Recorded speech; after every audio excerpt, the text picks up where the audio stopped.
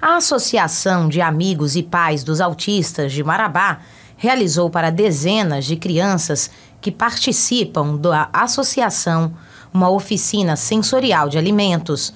O objetivo é proporcionar aos pequenos uma experiência com as texturas e sabores que estes alimentos oferecem.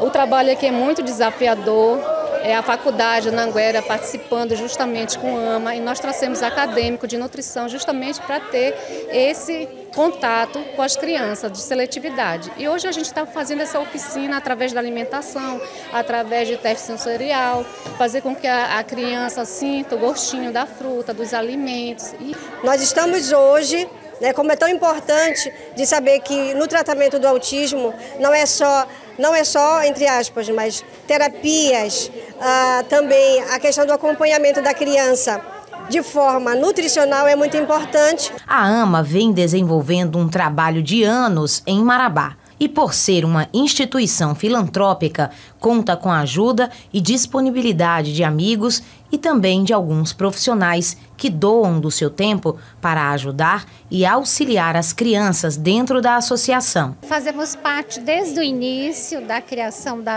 AMA e assim, é um trabalho delicado, é um trabalho, eu costumo dizer que é de formiguinha. A gente vai cada dia galgando um espacinho melhor. E o que nós sempre priorizamos é o acompanhamento dos familiares, acima de tudo, de orientação, que um diagnóstico é muito dolorido quando os pais recebem o diagnóstico e não sabem quem procurar. Os pais dessas crianças têm uma enorme gratidão pelo trabalho desenvolvido, o que tem levado esperança e desenvolvimento para os pequenos. Na oficina, eles experimentavam e conheciam os alimentos, seus sabores e texturas, e é claro que com muita diversão. Graças a Deus elas acolheram super bem meu filho. Ele não falava nada quando ele chegou aqui. Ele nada mesmo, não falava, não interagia. E graças a Deus, depois que ele começou o tratamento aqui, ele está interagindo bem, já está falando bem, né? Não fala muito bem assim a associação está nas redes sociais e os pais que identificarem em seus filhos qualquer diferença no comportamento pode estar entrando em contato com a AMA de Marabá. A gente está no Instagram ama.marabá. Nós estamos também no Facebook. Nós estamos com o nosso canal Ama TV.